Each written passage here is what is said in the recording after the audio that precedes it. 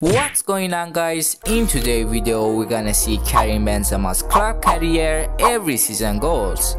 2004-5 season. 0 goal.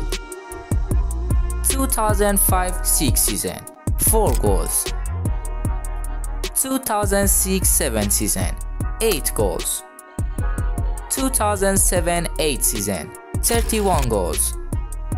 2008-9 season. 23 goals 2009-10 season. 9 goals. 2010-11 season. 26 goals. 2011-12 season. 32 goals. 2012-13 season. 20 goals.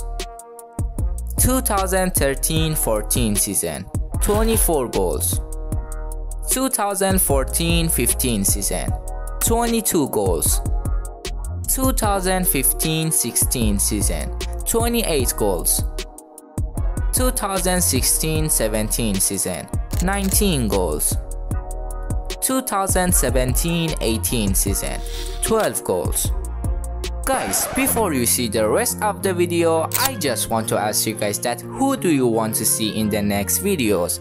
Please tell me in the comments. Anyway, in 2018-19 season, he scored 30 goals.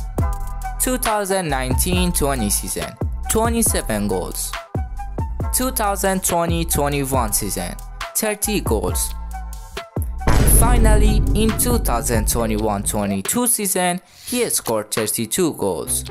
All the goals that Benzema scored in his club career from 2005 to 2021 is 377 goals.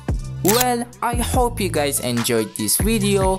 Please don't forget to subscribe to your boys channel. Love you all and I will see you guys in the next videos. Bye.